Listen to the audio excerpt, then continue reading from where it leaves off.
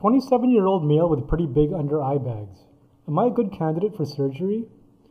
For the past couple of years, I've been continuously made aware of how tired I look and if I have been resting, sleeping well. It really has taken a toll on me. I've tried from cool cucumbers and many eye creams and products to sleeping with more pillows, but nothing works. This is something that has shaken my self confidence a bit, and I've decided I want to deal with it. My major concerns are that I do not want to look overdone or facelifted, and my highest priority is a natural look. Thank you for your question. At the age of 27, you have expressed how uh, the puffiness under your eyes has been present and that you've tried things like uh, cucumber slices and uh, it's affecting your uh, sense of your appearance. And I very much appreciate the photos that you sent where you looked up. Uh, clearly, you will have become aware of the volume that is under your eyes and that's causing this bulging and how it is enhanced further by you looking upward. So, to help you understand what is going on, essentially based on the photos, it appears you have something called lower eyelid fat prolapse. Lower eyelid fat prolapse means that the fat that's normally around your eyes has pushed forward and is creating a bulge. That bulge is creating this continuous look of puffiness under your eyes. And certainly for 20 years as a cosmetic oculofacial plastic surgeon, I have heard only the phrase tired of looking tired so many times, and it's completely understandable. It affects how people see themselves.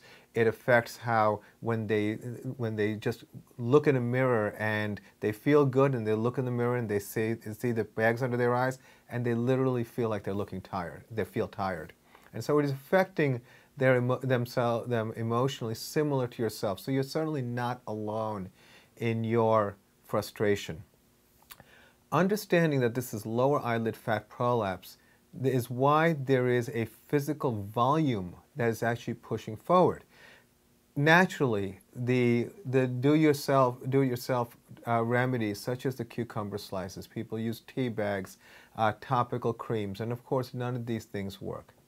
The definitive procedure is some kind of procedure that is surgical called a lower eyelid blepharoplasty.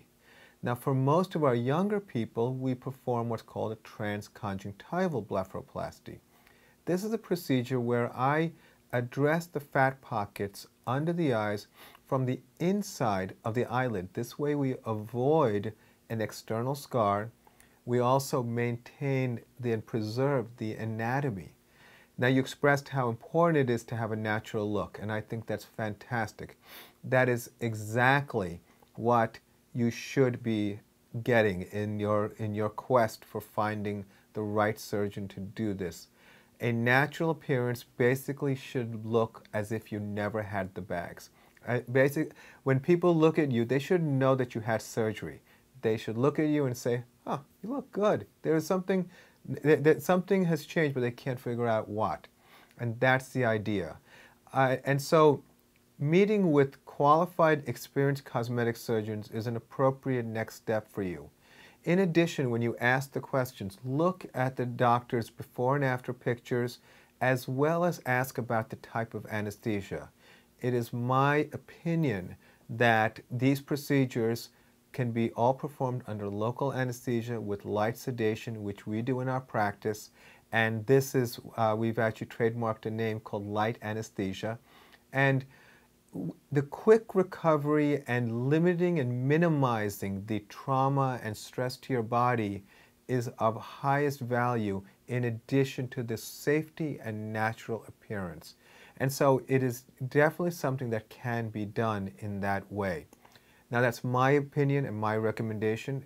When you meet 10 surgeons, you'll naturally get 10 opinions. But there should be some, um, some uh, perspective that you bring with the knowledge that you're acquiring from asking, uh, submitting a question in this way.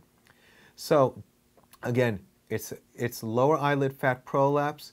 I, recommend, I, I usually do a transconjunctival blepharoplasty. At times we combine it with other procedures such as the use of platelet-rich plasma, which we have been very successful in helping people with skin quality under the eyes when we perform the lower eyelid blepharoplasty under local anesthesia with light IV sedation.